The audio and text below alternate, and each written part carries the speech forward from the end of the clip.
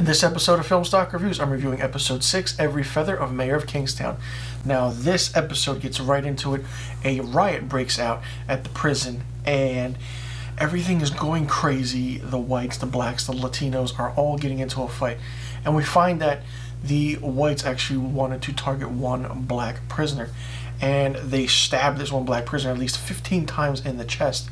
But one of the guards, uh, Sam, who had a sort of beef with one of the former prisoners in the beginning of the series, actually accidentally shoots the black man in the back with three shots. So then that progresses into trying to figure out what to do with Sam. So evidently he's actually transferred and now he's now going to work at the women's prison. Now all the while, Mike gets calls from the whites, the blacks, and trying to figure out what's happening to put everything in order. His day just started, and his phone is going off like crazy, and he can't understand it. And it, seeing Mike come full circle, and this is only the six episodes, is really, really interesting because he's trying to make peace with everything happening. But he, you know, first meets Bunny, and Bunny is just giving to him. He's like, hey, these Peckerwoods, these crackers, they kill my boy, this and that. If something doesn't happen, you know, we're gonna, you know, we're gonna, we're gonna kill back. And Mike's like, listen, hey, I have it under control. Let me go. And you know, and then uh, Bunny's like, you better meet those Peckerwoods. And then Mike's like, that's where I'm going next. So Mike then meets with the whites, and you know, he goes and he tries to figure out what's happening, and they give him an ultimatum, this and that. And when anybody tries to give Mike an ultimatum, he takes matters into his own hands, and he always like likes to, you know, put his foot down and say, you know, don't tell him what to do. And that's his character. Don't tell Mike what to do because he's trying to keep the peace with everything. And then all the while, he goes to meet with the security guard, the uh, head of the security prison, and he just, you know, says like, "Listen, we have to understand what's going on. We have to not go crazy with things." But then, you know, it's all such a big, big case and a story. It's really interesting how well this episode was done. Not only that, Iris is front and center in this episode. And the reason she's front and center in this episode is because she kind of opens her mouth too much, too many times, no pun intended, because her character is a prostitute for that matter.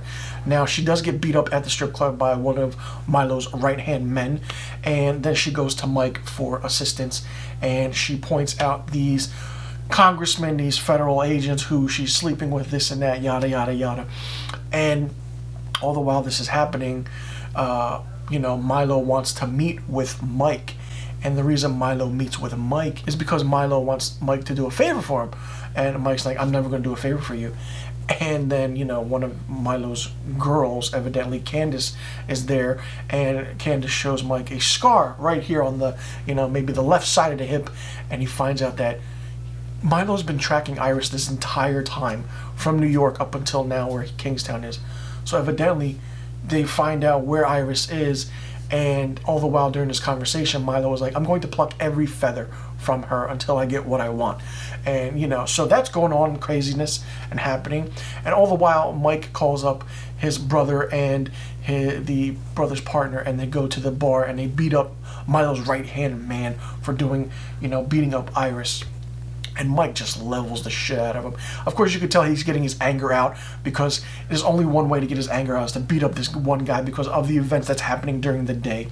So, other than that, you know, we find that the FBI had a mole in their agency, so to speak, and then, you know, the two FBI uh, agents that were killed that actually offered Mike a compensation of being a, uh, you know, informant, they're dead. Iris is gone. So all this is happening. It's really, really crazy. It's a really, really crazy episode. Not only that, we finally get to see Miriam, the mother to Mike and Kyle. And basically, she finds out that the pizza restaurant shootout happened and she tries to figure out, like, you know, why is Kyle doing this? He's not supposed to be, you know, he's supposed to be understanding, just living, you know, being being comfortable, not getting into trouble all the time. So um, the mother Miriam was like, listen, you have to understand what you're doing or you're going to get yourself killed. And, you know, she, you know, I was like, you're on administrative leave, but you have a fucking gun, you have a fucking badge. Why are you doing this? You know, you're, you were with Mike, weren't you? So Kyle just, you know, lashes out at his mother. He's like, you don't talk like that unless you're with Mike. And, you know, hey, she knows the family. She knows her sons really, really well. So it's great to see how, even though she had one scene in this, but it was very impactful for her. And listen, Taylor Sheridan wrote a phenomenal episode, and it took a while for this season to get going, I want to say. And I have to say that episode 6 was that one episode where boom, holy shit, everything just happens in one episode with every different character, and it's like the turning point and the halfway point of, okay, what's going to happen now? I like how this episode was done with the riot that happened in the beginning, with that being its own story, Mike trying to figure that out. But not only that, Mike trying to understand Iris's role and character in this whole episode as well anytime Iris came on the show, I used to fast forward her scenes because her scenes were so dull and you know, annoying at times because the character is just so annoying. But, you know, once she got what she deserved, evidently, you know, for being that annoying character, then things started happening. And now we don't know what's going to happen now with her character. I feel like her character's in there just to be in there, just to give Mike an ultimatum because of Milo. And Aidan Gillen, the actor that plays Milo, uh, it plays a phenomenal, phenomenal villain in any show or any movie he's in. But now he's going to be front and center, and I feel like he's going to be a threat to Michael. But I feel like Mike knows what he's doing with Milo. So anything is possible with this show now because we have a turning point, and this episode was a turning point. Every feather, the sixth episode of Mayor of Kingstown, was a turning point, which is a very, very good thing. I absolutely love this episode. I love the writing, and I love the layers this episode had from how it started to how it ended, and everything just came together and was one big, big story. And Mike was in every single scene. And Jeremy Renner is fantastic in this show. Seeing him do this, which is a gritty, in your face thriller, to seeing him do Hawkeye, it's two totally different side by sides. And you really, really see the depth of how Jeremy Renner acts, and it's really, really good.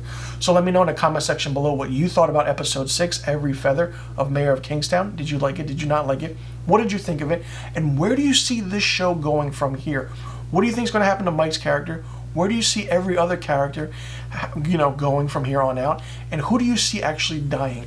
You know, let me know in the comment section below because I'm really curious to hear your answers because I'm even surprised because I don't even know what's going to happen in this series or the season finale. So let me know in the comment section below about the questions I just asked, and I'll see you guys in the next review video.